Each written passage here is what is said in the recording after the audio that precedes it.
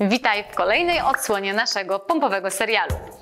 Dzisiaj zapraszam Cię do podróży w czasie na pokładzie naszego turboodrzutowego Future Jetta, samozasysającej pompy przyszłości.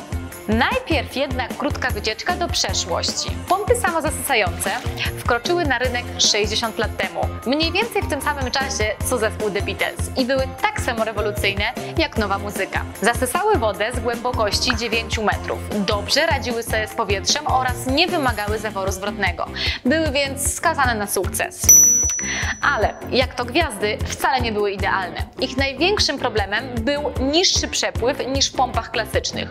Potrzebowały dwa razy więcej czasu do przetworzenia tej samej ilości wody, czyli zużywały dwa razy więcej energii.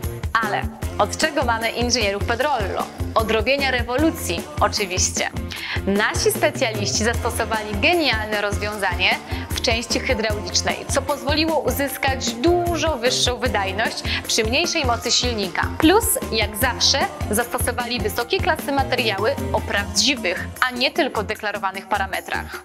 Efekt?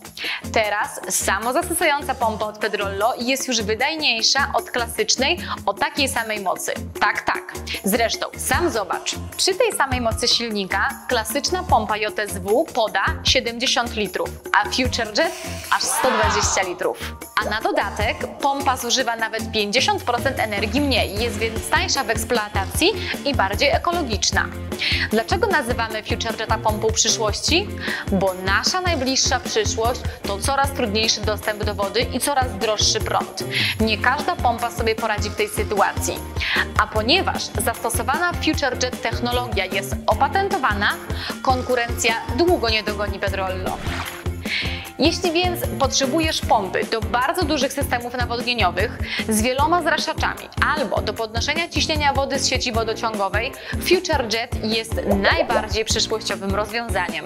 To co, wskakujesz ze mną na pokład FutureJeta?